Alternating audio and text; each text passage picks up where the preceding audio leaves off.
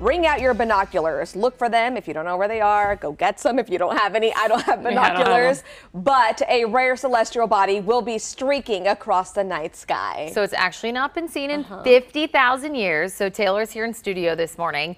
Um, okay, so tell us how you can really see this, Taylor, because I know Jonathan said he couldn't at that particular moment, but some people did. Timing has to be right. Yes. Definitely. Well, and Jonathan posted a great picture of it this morning, and so did Michael. So I know we've definitely been able to see this green comet. It is a comet. It's referred to the green comet. It's visible tonight around midnight through tomorrow morning. You can look to the northeast and it should appear as a fuzzy strike of green. Now this comet was discovered last March, but it hasn't been seen in our skies for over 50 thousand years. That was back in the Stone Age. So this comet will reach its closest point to Earth, and by closest, I mean 26 miles, million miles away from Earth.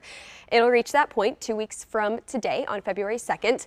Why is this comet green? It's due to the reaction of chemicals, specifically diatomic carbon, C2. What does this mean? It's green. You can see it there.